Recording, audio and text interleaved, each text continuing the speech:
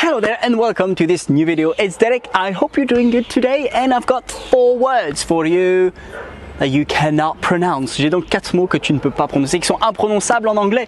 Reste bien, je vais te les dire dans quelques secondes, mais avant ça, tu vas pouvoir liker, commenter, say thank you, or how are you, t'abonner et surtout partager pour que la communauté bilingue grandisse encore et toujours. I'm Derek and I'm your online English teacher who is Scottish. Je suis Derek, ton professeur d'anglais en ligne qui est écossais. Et maintenant, tout de suite, tu sais c'est quoi? Le jingle. Merci Samuel.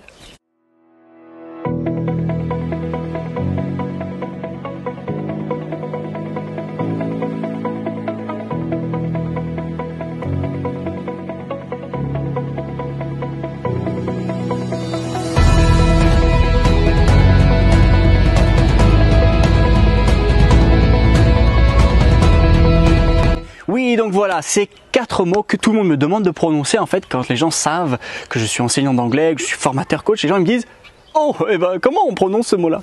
J'ai énormément, énormément de demandes sur ces mots que je vais donc t'énumérer là dans les, quelques secondes. Mais avant, euh, tu vas pouvoir me dire, mais euh, à ton avis, c'est lesquels ces mots-là? Alors, le premier mot, c'est un mot en fait qui est un peu composé, c'est throughout. Alors, je sais que si toi tu essayes de faire ça, tu, tu, tu arroses de tes postillons tous les, euh, tous tes écrans ou ton clavier ou alors ton smartphone, mais c'est possible de faire sans arroser. C'est throughout, through, through, th non vocalique, through, throughout, out, throughout, throughout. C'est donc au travers, au travers de.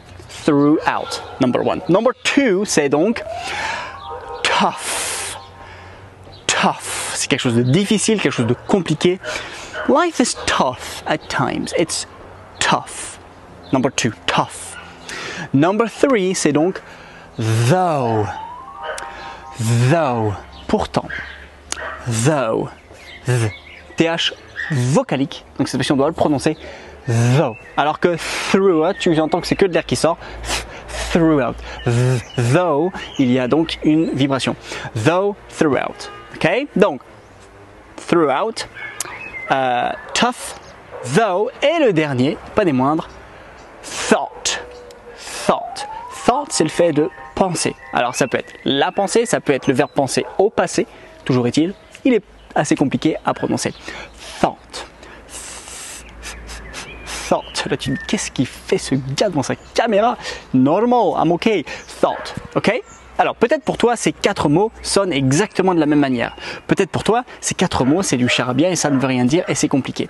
Si c'est le cas, je t'encourage tout de suite si tu es quelqu'un qui a besoin de l'anglais au ton travail de aller voir tout de suite ma web conférence, ma masterclass gratuite pour t'aider toi aussi à débloquer ton oral, booster ton anglais et surtout réussir à trouver tes mots.